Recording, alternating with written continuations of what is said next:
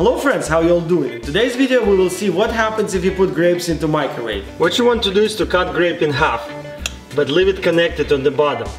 So I'm gonna use two different grapes.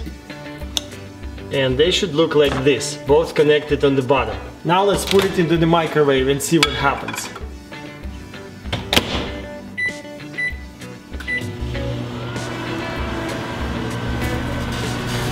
Look at that.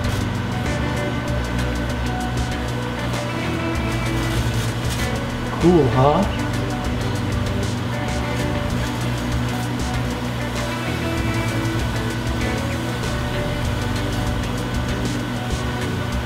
This time we're gonna put a lot of them. Let's see how cool it's gonna be.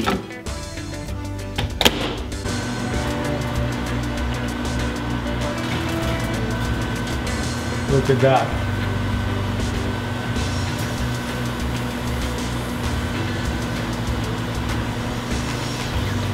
So why is it happening? This happens because when we cut the grape it only connected by the thin piece of skin. And as the microwave moves through the grape, this tiny skin that connects to halves dries out fast and burns.